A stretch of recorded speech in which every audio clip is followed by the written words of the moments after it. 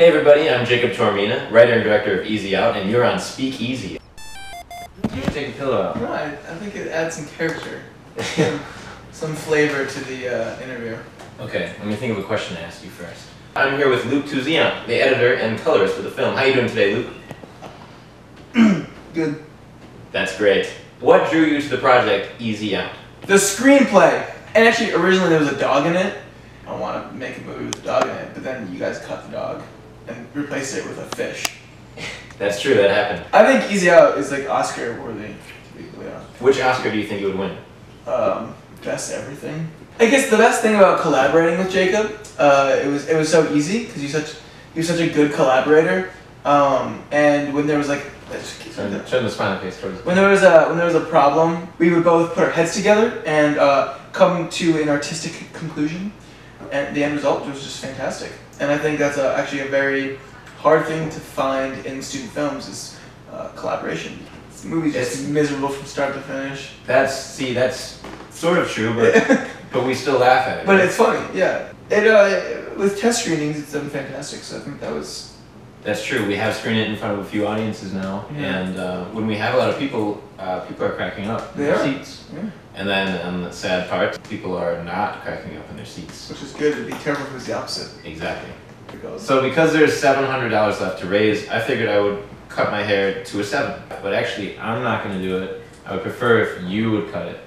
yep, we're not doing it in my apartment though. Well, I'll clean it up for you. You're not doing it in my apartment. You're doing it on the roof, outside. It's not happening in the apartment. Okay, we'll do it on the roof. So, do you think that that, that people will think that's interesting? Hey, I'm going to shave my head. People might draw attention more to I the think Kickstarter. I think it'll work if you promise that if you raise the full amount money, which is what thirteen hundred, Yeah. that you'll shave with a huge straight razor. Yeah, no, so for like real. Straight bald. I am completely okay with that.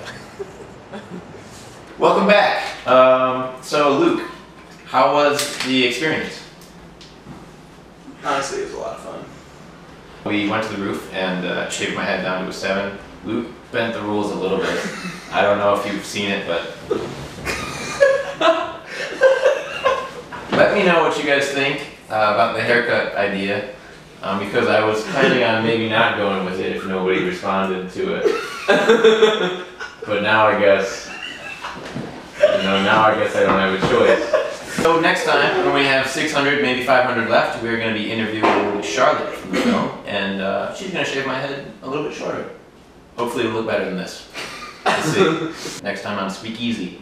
Um, so that's it for tonight. Luc, Yeah, so a lot of people worked really hard on this film, and we all had a lot of fun, and we'd really love to see it go to the next level. So we would really, really appreciate any help you could give, even if you can't donate money. Just share our campaign, share it to anyone you know that would be interested in helping uh, young filmmakers. I really, really appreciate it, and thank you. thank you very much. Ready? What, what? One, two, three. Luc and Jacob in the morning. That was beautiful. Copyright.